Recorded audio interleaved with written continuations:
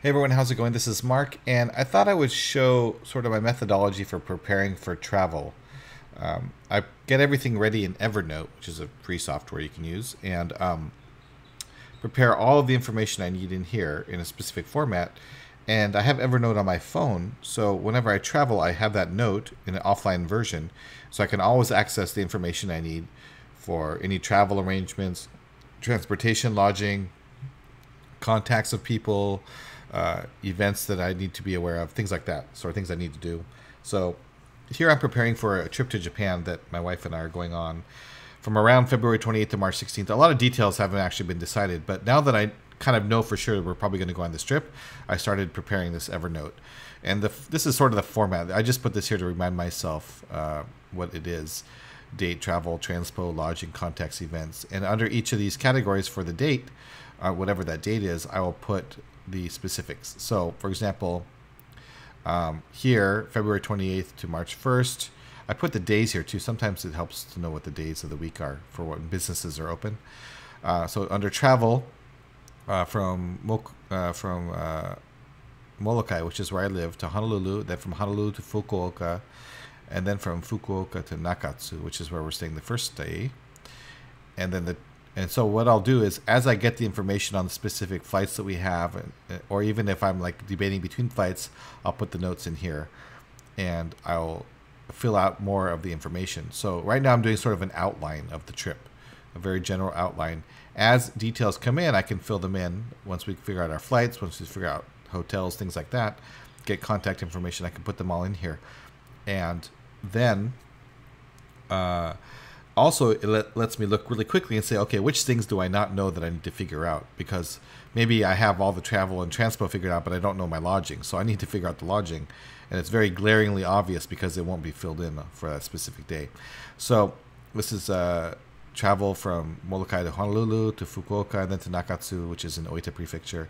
Transportation uh, we'll need transportation uh, from uh, Nakatsu train station to the hotel. So transportation is different than travel. Travel is taking um, scheduled sort of in advance, uh, like mass tra- mass transportation travel type things, like a plane or a train. Those are kind of my travels. Transportation is like locally getting around within the place where you'll be, like a bus or a taxi or um, subway schedules, things like that. So that's transportation. So I consider those differently because um, travel is how you get to your destination. Transportation is how you get around within your destination. that makes sense. So in, we'll be in Nakatsu, I, I believe, the first night, few days. So that's why it, that's under transportation, transpo. Um, lodging. I will be staying at a hotel, and I think my mom knows the name of the hotel, but I don't know the information yet. So I just put hotel in Nakatsu. Contacts, these are my uncles, Toshi and Shunji. So I just put their names here just to remind myself I need their contact information.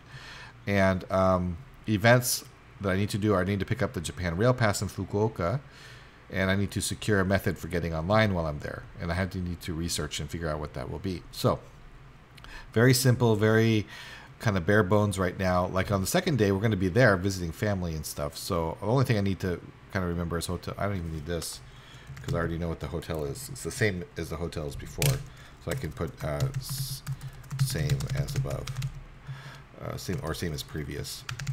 So that allows me to remember that, oh, okay, just look, go up to that lodging information. I can get it there. Um, and then I'll fill, kind of fill it in as I go. So here's March 3rd, Tuesday. Travel, transport. So I got all this stuff here.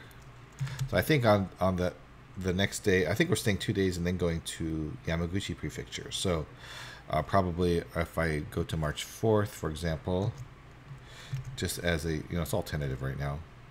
So March 4th, then travel would be from, um, from Nakatsu to um, Onoda, uh, which is the town we're going to. And I think it's actually called something else now, but Sen Onoda or something. Transportation, and then Onoda, taxi in Onoda to Higashi, which is where we'll be staying. Lodging, uh, don't need to worry about lodging because we're staying at uh, the family house, but I'll just say uh, Yoshi residence. And contacts, um, I think I need to know the names of the people taking care of the house. their contact information would be helpful. So, or the other thing I can do up here under events is um, uh, cell phone access. I'm not sure if it's possible for me to get a SIM card for my cell phone or not in Japan, but I'll put it there as something to research. So contacts, I forget the names of the people, but the house helpers people, and um, no events for that day, really, just to settle in and, and check out the neighborhood. Um, so things like that, basically just going on and making sure I kind of fill things out. And as I fill things out, I go on, on to Google Maps or I'll look at this. Uh, I do use Google Maps a lot and I'll capture screens from Google Maps. Let me show you really quickly how to do that. Um, let me resize this to match that screen. Here we go. So, um, uh, oh, it's Maui. Uh, so if I go to Fukuoka, for example, uh, airport to Fukuoka train station. Let's do that. I have this, uh, there's the airport right there. I'm guessing the train, you know, Japan, the train station is probably really close to, or the Hakata train station, probably where I'll go. Um, so what I'll do is maybe I'll grab a quick scan of this so I can kind of see quickly. Looks like there's a subway, the airport line. Um, oh, interesting. They can't calculate. So maybe it's not as advanced. In, in some places, Google Maps works better than others. But what I would probably do is do like a screen grab of this. And in Evernote up here, I don't know if you can see that, but there's a little drop down in Evernote, and I can do, clip a rectangle or window, and I can just sort of grab something like this, which kind of gives me the general lay of the land. And I'll save that to Evernote. In Evernote, I will go and find it here. Um, I'll grab that image and then I'll go over to here and uh, maybe I'll put something like this right there. So then I have um, the the the image in the file that relates to whatever's right above it. So Fukuoka to Nakatsu, first step is to get from the airport to the train station. And then I might, if I can look up schedules or do something like that, I might do that as well once I know more details. But this is sort of a good general way for me to kind of get lay of the land. Um, or I might do something even more uh, outside. Oops. Um, go to this, I might just do like a Kyushu. I don't need the directions. I just go Kyushu. Kyushu, Japan. Kyushu Island. Okay, so that's a little too big. I can zoom out a bit. And I can get sort of a general idea of where things are. So Nakatsu's right here, Fukuoka's over here, traveling across there, and I'll be going up to near Ube later. So this is good just to get like a general sense of where things are. So I would capture this um, from here, just so I can kind of get a good idea of how to get around. So I'll save that to Evernote, and then I'll copy that over. Uh, copy to the Japan one. Whoops. Uh, Japan. And then I'll stick this. Uh, in here. So it gives me an idea of kind of the, whoops, it's the same one. Okay, that's not the one. I want this one. And I want to go to there. So that gives me a kind of a nice general look at what it's about. So uh, I would have also in here my sort of travel information. Maybe it's like uh, Delta Flight 21. I'm just making stuff up at um, 2.30 p.m., which is 14.30, and it arrives um, uh, at Honolulu, and then it goes to, um, uh, it arrives at like maybe 9.20 a.m. at Fukuoka, right? So that will give me sort of the flight information. If I have other information about that flight, like confirmation uh, number is maybe whatever, whatever, something like that. and then I can also put in other information related to my like my seat is uh, 13B or whatever, right? So um, it just allows me to put all the information I need to know. That way, I don't have to keep anything in my head. I don't have to carry papers around. It's much easier to travel this way, and I find it really helpful in organizing my trips. Uh, I'm going to find a previous trip that I did this with. Okay.